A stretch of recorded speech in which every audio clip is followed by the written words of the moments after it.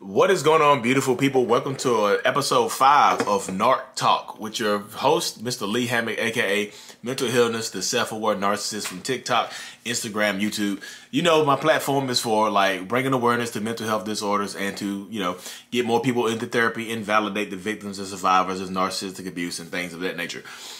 This series is about answering questions from subscribers on YouTube. So, question number one, I answer five questions.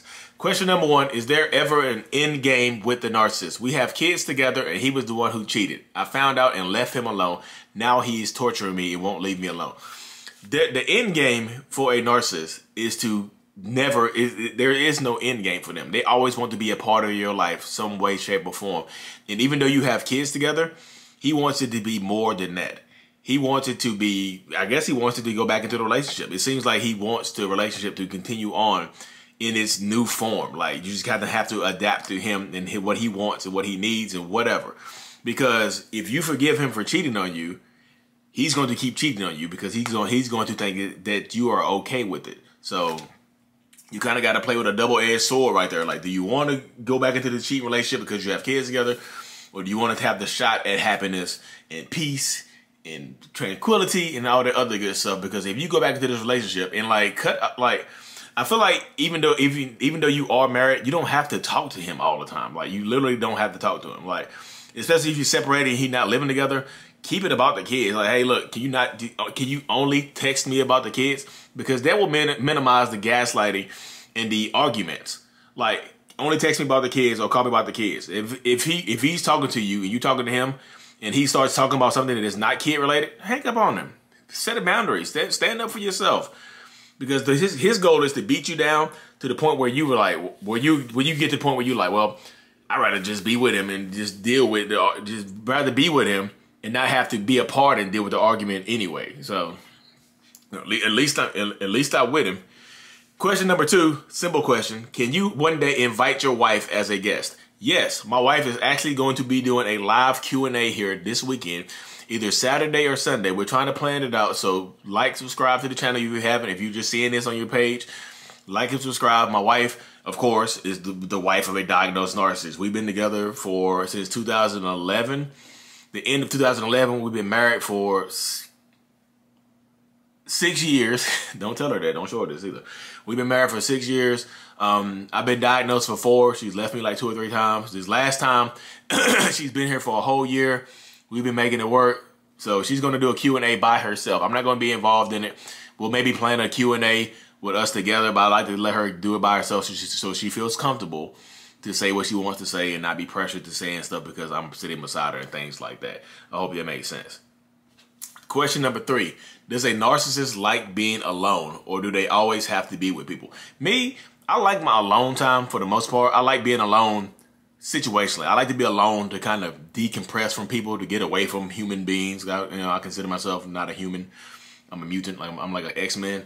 So I like to get like, kind of get away from people in that aspect. But most of the time, like alone, like relationship wise, I don't like being alone. That like intimately, like I need to have, I need to be in a relationship, like or not necessarily a relationship, but have somebody I'm talking to or dating or whatever, somebody close by, not just for you know for the grown up stuff, the, the no pants dance, but just for other stuff, just to be around and talk to and things like that. I don't like, you know, necessarily being alone and things like that. Question number four Do narcissists actually miss people they have dated in the past? Or is it more out of sight, out of mind? I miss people all the time. But there is a like, there's a little uh, caveat with that because I miss people uh, because of what they did, what they could do for me. And I think a lot of narcissists are in the same situation where they miss people, but it's like they miss the people's the people's presence and how they can make that person feel and how that person made them feel about themselves. Like sometimes a narcissist, like you get into a situation with a narcissist where they just beating you down constantly, where they're like lying to you, cheating on you, manipulating you, gaslighting you, doing all the narcissistic stuff where, you know, when you like you become like what they call what they call the grade A supply. Like you are the perfect person for the narcissist. Like you don't ask too many questions. You pretty much like maybe I think doormat would be is too aggressive of a word, but I mean it can be pretty accurate. Like you just let the narcissist do whatever they want to do, and you don't ask too many questions because you either used to it or you just don't care. You check, you mentally, physically, emotionally checked out a relationship but y'all have kids and y'all married and whatever. Um, but yeah, that type of person, the narcissist will miss. I miss people. I miss certain people. I don't miss everybody. Not like I say. So it's kind of, kind of hit or miss with that question because I don't miss everybody. I'll be honest with you. I don't miss everybody. There's some people I just like, cool, peace. I'll never see you again. Dunzo.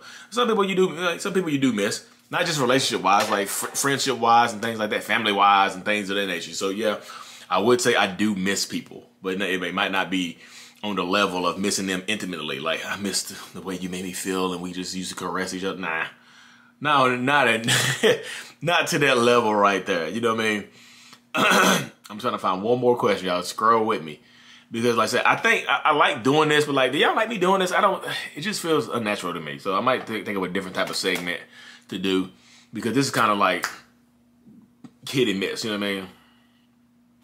Question number Five, final question. How do you get, how do you safely get a narcissist to completely discard you?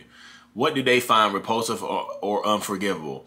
Um, you moving on and doing better well, it's unforgivable to them because how dare you replace a narcissist? How dare you do better without me? How dare you glow up without me? How dare you, how dare you start going to the gym and stuff without me? How dare you start going back to school without me? How dare you find somebody that treats you and loves you and respects you better than I did? How dare you find somebody that, you know, clap the cheeks better than I did, which is, you don't have no trouble doing that. I'm just joking. Um, but how dare you? So yeah, the way you get somebody completely discard you and cut off all access to you because that's the only way that they would fully discard you is when they think that they, they when they think they, they either have you replaced for good or they feel like they can't get you back point blank period. Like you've moved on, got married, had kids or whatever, and you gray rock them or you no contact them. That's the only way they can fully discard you on that end of, on that end of things because they have they, they there has to be no hope. Because, you know, hope gives narcissists like it just gives narcissists fuel. Like I can get it. Like, if you talk to them, if you break no contact, they get hope. They will never fully discard you. If y'all have been going back and forth on and off for five, ten years, they'll probably never discard you. 10 years of on and off, y'all break up for a year, come back together, break up for another year, come back together, break up for three years, come back together. They probably will never discard you because they just feel like they can just come and go as they please with that. And that's that's a good situation for most narcissists in any situation. But y'all, thank y'all for tuning in. Five questions. Let me know if you made it this far. I know it's not the most exciting episode or whatnot, but like if you made it this far, I really truly appreciate you. Um, let me know if y'all want me to keep doing this. Or y'all want me to switch it up and do something different. I might can do two episodes of the Narcissist Code or go live every day or something like that. Just let me know. Anyway, thank y'all for tuning in. Like, subscribe. Peace.